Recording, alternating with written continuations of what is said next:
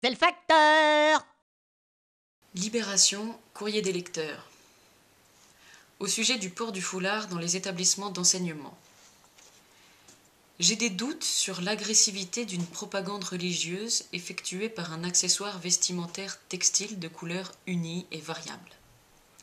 Si demain une secte exigeait de tous ses membres qu'ils portent une casquette noire, faudrait-il interdire les casquettes noires dans les cours de récréation? Au contraire, si une multinationale lançait la mode de porter le fameux foulard, sa signification religieuse ne serait-elle pas instantanément vidée de tout contenu? Souvenons-nous du souverain danois invitant tous ses sujets à porter l'étoile jaune en signe d'égalité et privant la réglementation nazie de toute efficacité. Pour résumer, la force sémiologique du foulard me paraît faible. Par contre, il existe déjà des lois et des textes qu'il suffirait d'appliquer. Sur l'interdiction de circuler masqué dans la rue en dehors des périodes de carnaval. Sur l'obligation de montrer ses deux oreilles sur les photos d'identité.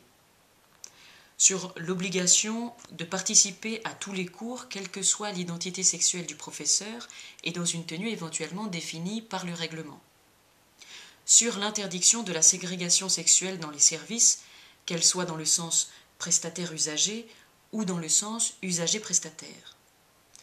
Il y a aussi des textes anciens ou récents, voire des coutumes, qui imposent des normes vestimentaires, interdiction du short, du maillot de bain dans certains lieux et pas dans les autres, obligation de se couvrir la tête ou non dans les cours de caserne, les églises, etc. Du temps de Franco, il était strictement impossible pour une femme de visiter une église espagnole sans avoir la tête et les bras couverts.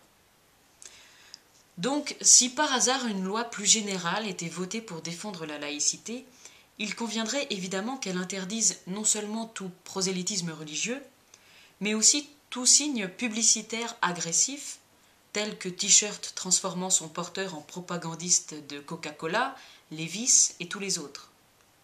L'affaire du foulard, dont on parle beaucoup, me paraît plus anodine que l'entrée des multinationales dans les établissements d'enseignement, sous prétexte pédagogique, qu'on se garde d'y joindre.